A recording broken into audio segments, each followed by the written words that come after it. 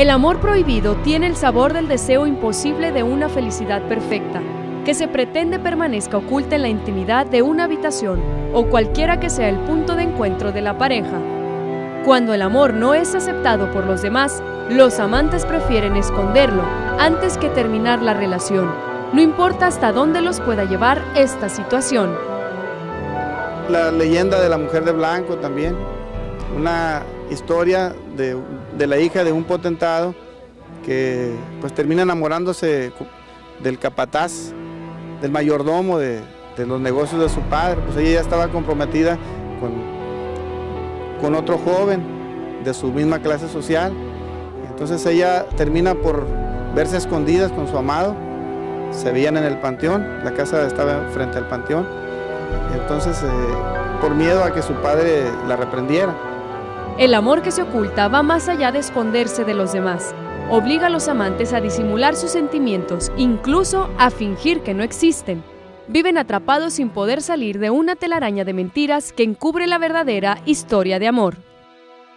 El día que se entera su padre, pues verdaderamente pone el grito en el cielo porque pues lo ha desobedecido, pero más que otra cosa, porque son medios hermanos, el mayordomo y, y, la, la, doncella, ¿no? la muchacha. Entonces el Señor muere repentinamente de una manera muy rara. Se dice que probablemente lo envenenaron. Entonces ellos siguen viéndose en el panteón hasta que finalmente ambos mueren. Esta es la fuente donde noche a noche la doncella emerge para caminar hacia el encuentro con su amado en el cementerio de Álamos. Esta es una de las leyendas en las que se muestra que el amor trasciende más allá de la vida y la muerte.